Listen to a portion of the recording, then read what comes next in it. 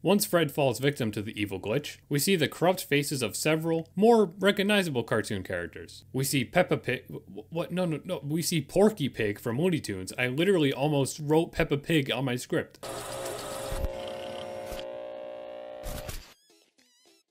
Learning with Pibby is an all-new Adult Swim and Cartoon Network pilot that was released this past weekend. The idea puts a horror spin on the cartoon multiverse. A character from a fictional educational cartoon, named Pibby, joins forces with a group of misfit original characters on a journey to channel surf through Cartoon Network's history and defeat a monstrous glitch that is corrupting all the cartoons we know and love. This is a story pitch that I feel has a ton of potential. Please check out the original video on Adult Swim's YouTube channel. Give it a like rating and leave a comment to help it become a full true series. I also made a video the other day detailing my thoughts on why this show seems like such a fantastic and fun idea, so if you're interested in hearing more of my opinions, please check out my previous video. In this video, I want to run through the trailer again and point out all the animation references that I can recognize. I did the same thing forever ago with the OK K.O. crossover, because, well, I know far too much about cartoons. I'm always making videos about the latest cartoon news, cartoon trivia, and other super niche things that I like. So if you're new here, please consider subscribing to my channel for more cartoon content. Now let's get started on the list. If there are any references that I miss or mess up, please feel free to politely mention it in the comments. It's not really possible for me to know everything, so I'd appreciate any help. Our first reference is Pibby herself. This cartoon world is completely original, but it's obviously inspired by preschool television in general, like shows from PBS, Nick Jr., and now Cartoon Network's Cartoonito block. There really isn't a specific reference here. The way it teaches words and such seems very in line with Sesame Street to me, and the visual appearance of the world reminds me of Wow Wow Wubbzy. But yeah, the world here is intentionally generic. Is there any specific preschool show that it reminds you of? Let me know after the glitch appears, and well, the, the, glitch is definitely based on TV static and like TV based glitching. That's a weird thing to specify, but a TV glitching is kind of different from how like a computer screen and such glitches. It sort of feels like a corrupted video edit as well. I mean, just look at my channel aesthetic. I know a lot about glitching. But once Pibby enters the credits of her series, the credits that are shown are the actual credits for this production, listing off the real creator and producer of this short. Also, naturally, the Cartoon Network Studios logo appears at the end, just like it does for all other CN shows. Though despite Pibby ultimately being a horror show made for Adult Swim, this shows that its in-universe television world takes place under Cartoon Network's label, which is why we mostly see Cartoon Network characters throughout this trailer. It's also been said by some people that apparently this short film was produced by CN's animation division, not Adult Swim's. But of course, the mature content of the series makes it something that needs to be broadcasted and shared under Adult Swim's branding. Pretty sure Close Enough is the same way. That's made by Cartoon Network, but it's an adult show, so it's been put on HBO Max and TBS. Next, Pibby enters the superhero cartoon world. This one, once again, is a completely original setting, made to parody the thousands of superhero cartoons that there's been. Most of these productions coming from Cartoon Network and Warner Brothers, mainly referencing DC Comics cartoons, which come from Cartoon Network and Warner Brothers, and Warner Brothers is CN's parent company. Well, technically, Turner Broadcasting is CN's parent, and then Warner Brothers is Turner's parent, and then Warner Media is the parent of them, and then AT&T is their parent. But let's not get too technical, this short's already meta enough as it is. The characters here to me anyways, seem like references to Superman and Robin. Even though, of course, Robin is a Batman sidekick, he's the most well known sidekick character in media. And Robin's often parodied and stuff to be a geeky weakling. This world also kind of has a similar look to the recent series Invincible, but that has nothing to do with Cartoon Network. It's probably just a coincidence, since Invincible is also attempting to, like, parody and subvert the usual look of a superhero cartoon. The sidekick character here, whose name is Beta Kid according to some leaked information, is actually a member of the series' main cast. He'd be journeying with Pibby if this were a full series. Next, the two characters enter the world of Bedrock, home of Fred Flintstone. You know, the guy from the cereal, and also a classic 1960s cartoon called The Flintstones. Flintstones? Do you think there are kids now that think the Flintstones are only cereal box characters? We see Fred riding a Brontosaurus and riding down its tail, which is an iconic little sequence from the series. In this show's prehistoric world, these dinosaurs are used to assist in construction and transportation. If Fred works as a Bronto crane operator. But why am I going into so much detail about this? Does anybody actually care about the Flintstones in 2021? Once Fred falls victim to the evil glitch, we see the corrupt faces of several more recognizable cartoon characters. We see Peppa Pig.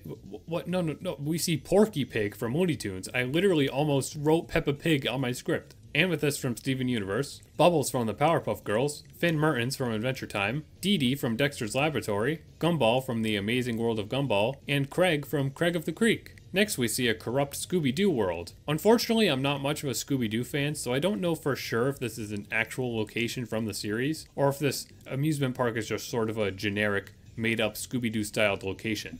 If you know what it's supposed to be, please share it. I know there was a park in the new Scoob movie, from a quick Google search, this looks like a setting from a 1969 Scooby Doo Where Are You episode, Foul Play in Funland, which, wow, 1969? Scooby Doo is super old.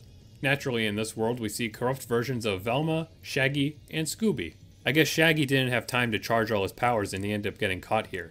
Yeah, I had to make that joke. You have you have to make that joke. It's too easy to make that. Then we see Pibby discovering she has blood inside of a wealthy dog mansion. This is very likely a reference to DuckTales, just like, you know, the dog version of it to avoid copyright. It definitely has a Disney style look to these characters in the background. We also see what are likely alternate versions of Webby and Louie as dogs. We also meet this evil cat lady, who is another original character, and who would also be a main cast member if this were a full series. Her name is Molri. Her name is Mol Mol. Her name is Molira, according to leaked information. That's a that's a really hard name for me to say for some reason. She's a Disney villain-inspired character, made to be similar to Cruella de Vil from 101 Dalmatians and Ursula from The Little Mermaid. Though some people have pointed out that her design resembles some other cat characters, like Sophia Kitty from An American Tail. There are a lot of cat characters out there though, so I guess we can't say for sure. This short trailer implies that she would have a bit of a character arc. She'd start out villainous and rude, but slowly discover empathy and work to save the world and protect the young and innocent Pibby. Next, Pibby travels to the Adventure Time world of Ooo, and is hiding from demonic shells of what used to be Finn and Jake. Adventure Time had two zombie themed episodes, so this really reminds me of those, especially considering the setting too. This background is one of Princess Bubblegum's labs from her castle in the Candy Kingdom. It might even be an actual background asset from the original show. It looks very accurate to me. Adventure Time fans are really impressive analysts, so I'm sure someone out there knows if that's a real background or not. Whatever the case, this sequence reminds me a lot of the episode From Bad to Worse, which is one of the zombie episodes I mentioned. There's a lot of time spent inside the lab in that episode. Also, should we nitpick that Finn has his golden sword here? Finn has a lot of different swords throughout the series. This is just kind of the one that there's most reference material for, I guess. Jake does end up using his stretching powers here, so, I mean, they knew about Adventure Time.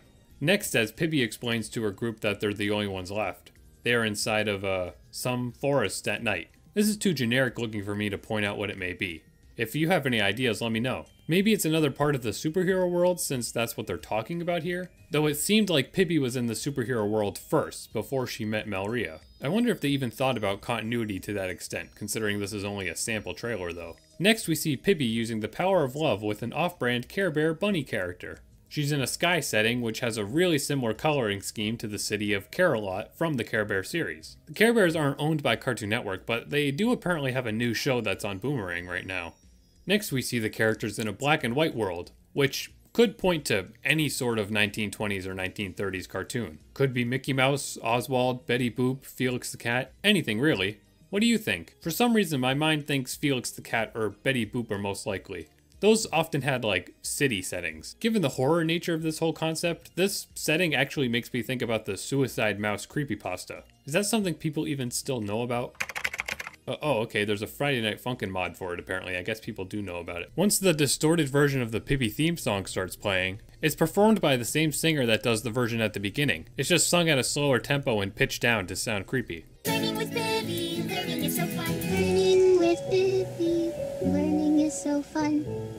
We like to spill and we like to hug. Next, we see a dramatic scene taking place inside of what is likely a Wile E. Coyote world from the Looney Tunes. Beta Kid and Malria seem to have weapons referencing Looney Tunes as well. A goofy cartoon hammer and a Marvin the Martian style ray gun. It's also worth noting that in the leaked pitch document, it is mentioned that Pibby's design would evolve throughout the series, as she would counter more adversity. Clearly here the poor girl looks much different than she does at the start. Then we see a cave scene, which is again too generic to clarify, followed by Pibby using a ray gun and flying with an Acme brand rocket, which is another Looney Tunes reference. Dozens of objects throughout Looney Tunes are labeled with this fictional Acme brand. I'm sure you've seen that before somewhere. It's in a lot of stuff even beyond Looney Tunes. Can't say I know what this big realistic gun is referencing though, but it, it must be something. Kind of seems like a anime thing, like a Psycho-Pass thing.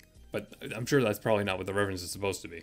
Then we see Beta Kid and Melria running away in the Mystery Machine from Scooby Doo. Melria fires a pistol that turns out to be a fake prop. This gag is used in a lot of things, so it's not necessarily a reference to a specific thing, it's more of a cartoons in general sort of thing. But in my mind, I most commonly associate this with the Joker for Batman and Looney Tunes as well. Next, we see Pibby on a bus, which is clearly inside of the city of O-Town from Rocko's Modern Life. The architecture and coloring makes that a pretty clear reference. Surprising to see this here since it's a Nickelodeon show, but that's actually not the only Nick reference we get. We get another one later on. Next, we see a racing world, which is a little too generic for me once again. Maybe a reference to the wacky races, or perhaps even Speed Racer? Let me know if you get this.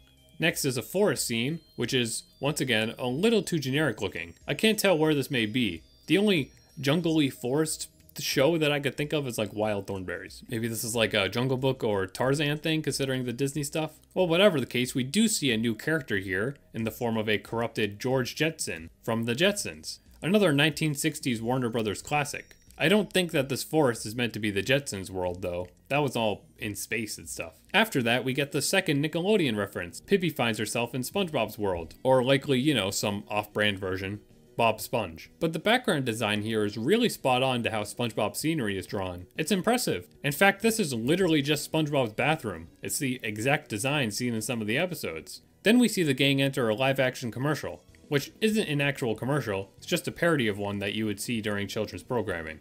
I always wonder if the kids that are in things like this are allowed to watch these shows. Like, clearly this would be too violent for this kid to ever see it. But what, he just recorded this and it was just like, okay, yay. like, I always wonder about that. Finally, we get to the juiciest part, the endgame style face-off with Pibby, cartoon favorites, and the Glitch Monster. This is back inside of the Learning with Pibby cartoon homeworld. Here we see Lady Rainicorn from Adventure Time, who is drawn based off her appearance in the pilot, even down to her circular mouth. In the pilot of Adventure Time, she didn't speak Korean, she just like spoke in gibberish and had a very circular mouth. But in the full series, she speaks Korean and, well, has a normal mouth. It's really weird that they use this as reference. Did they like get bad reference material from CN or something? I think my guess is more so that it was probably easier to animate her without the rainbow on her body, so they just like made her all pink. But then how come they kept the mouth circular? Is that just like a coincidence? And of course, we also see a lot of other characters here. We see Buttercup from the Powerpuff Girls, Lion from Steven Universe, Darwin from The Amazing World of Gumball, Muriel from Courage the Cowardly Dog. She's holding a big mallet, which is also a reference to an iconic joke from that series. Unikitty from the Lego movie and also the Unikitty spin-off TV series, Samurai Jack from Samurai Jack, Jonny and Plank from Ed, Edd n Eddy, and The Scream from like the the painting. Yeah, okay. So to my knowledge, none of these other characters here are real ones. They're just made up for this sequence. Though they might be referencing other works and be like knockoff brand type stuff, though I can't quite think of what the reference may be for most of them. One of them kind of looks like uh, Spunky from Rocko's, but so Spunky doesn't like walk like a human. In the next scene here, we see corrupt Velma again, and what I'm guessing is corrupt Jake the dog again as well. Then Bugs Bunny from Looney Tunes, another made up dog from the DuckTales knockoff, this one is orange, so I guess it's closest to Huey, even though Huey wears red. And there we go. That was mostly every reference. That was way more than I expected, honestly. It's amazing they could fit so many cameos and an interesting story within such an incredibly short piece of animation. I made sure to go into detail about most of the references, since many of them are from far back in Cartoon Network's massive catalog of cartoons, so I hope you enjoyed that.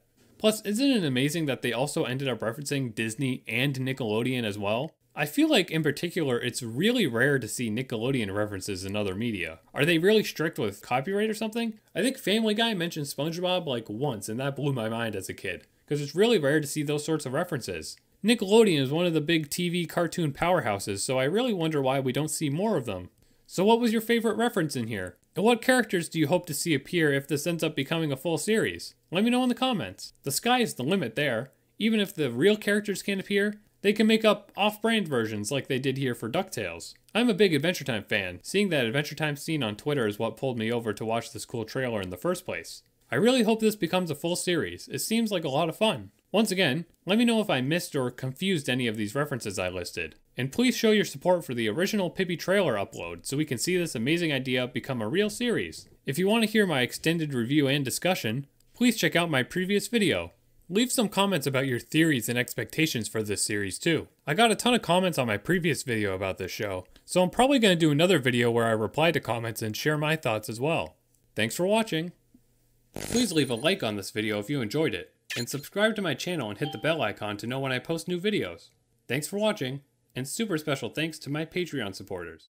Support me on Patreon and you'll be able to submit video topics, see exclusive behind the scenes content, and help me keep this channel going. Also follow me on Twitter and TikTok for special updates.